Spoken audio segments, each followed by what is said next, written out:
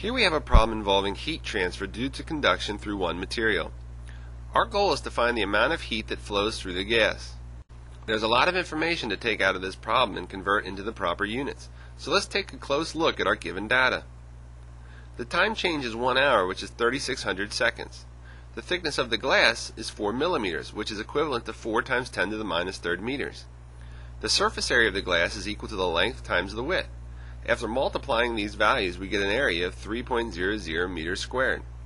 We will also need the value of the thermal conductivity of glass. Here is the equation to find the amount of heat transferred through the glass. We want to isolate the heat, so we multiply both sides by the time interval.